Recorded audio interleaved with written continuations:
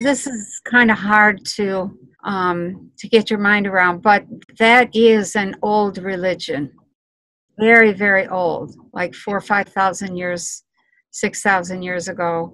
Um, they started sacrificing people, children and young men, on a regular basis, and thought that that was okay. I think it's a distortion that appeared in the goddess cultures when the pagans eventually this was a big fight between the pagans and the christians.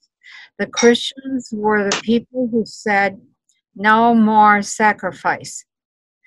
And and the pagans um, that was how they felt. They were freeing up energy that could then be used to make something happen.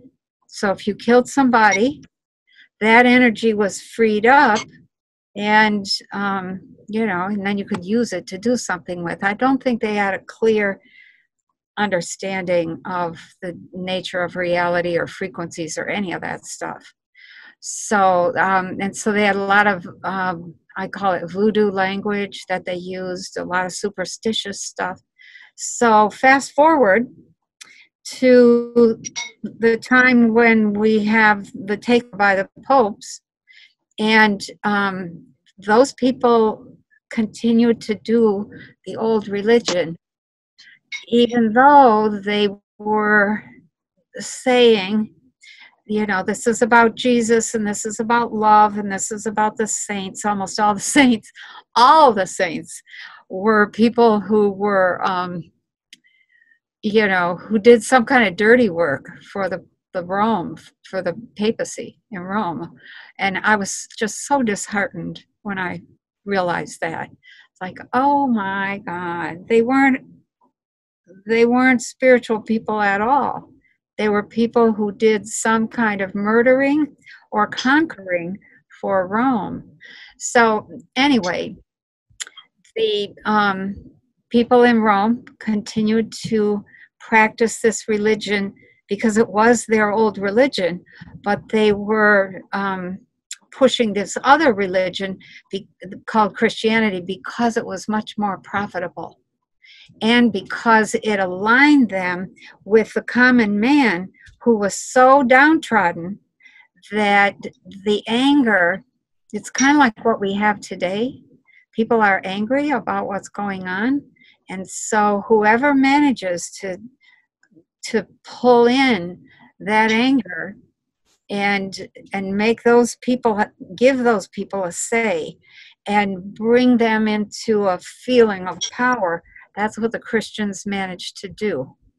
And so they continued that because they got the backing of the common folk um, who were not educated and who were just angry over the conditions of their lives and they made a lot of money and they continued to practice you know their old religion which was based on sacrifice. Um, and so they have still continued to do that.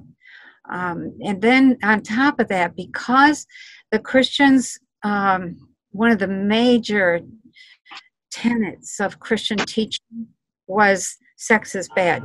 Sex is only for procreation so what happened with that was that a lot of people became sexually I don't know what to call it, um, you know, their sexual ideas and their ability to engage in sex in, in a way that was beautiful um, disappeared.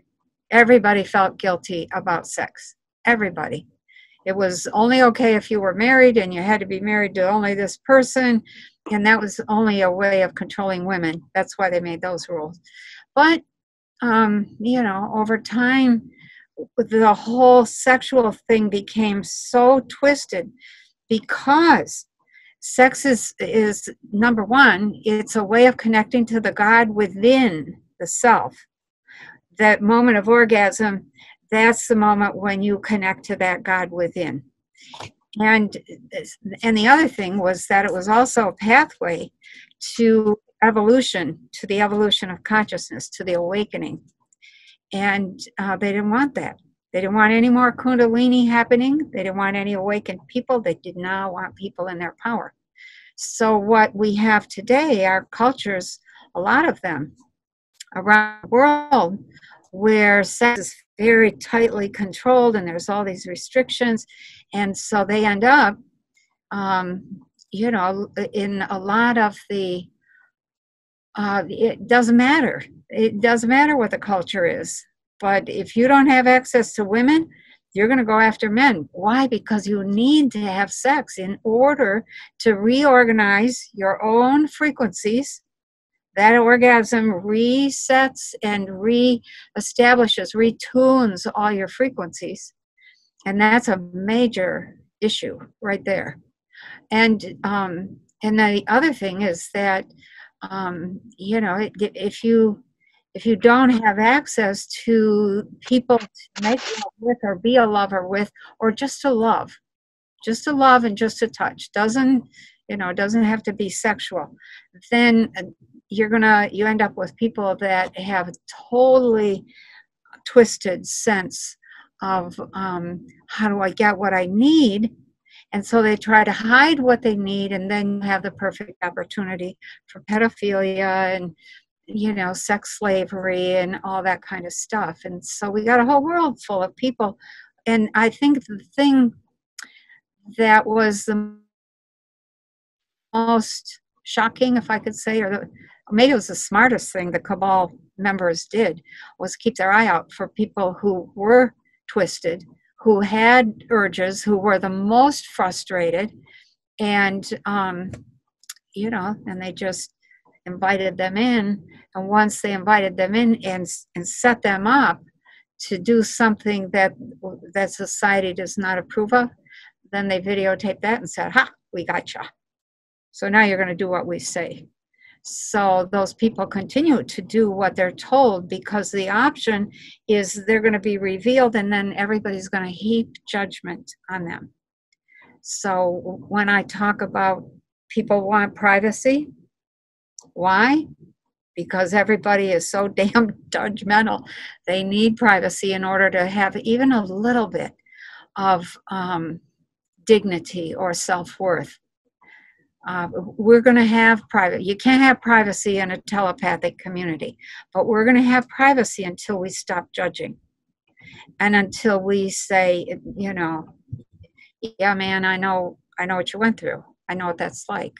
Um, you know it's it's i'm sorry i'm sorry that you had to feel guilty about that or i'm sorry that you couldn't um, get what you needed in a way that society would approve of so we got a lot of twisted stuff um, and i think it's uh, it's a sign of the times when a civilization gets too distorted and nobody's needs are getting filled it collapses we have to go back to filling people up. They have to have permission to be who they are and boundaries in terms of what's not okay. And I don't know how we're going to do that. We just have to.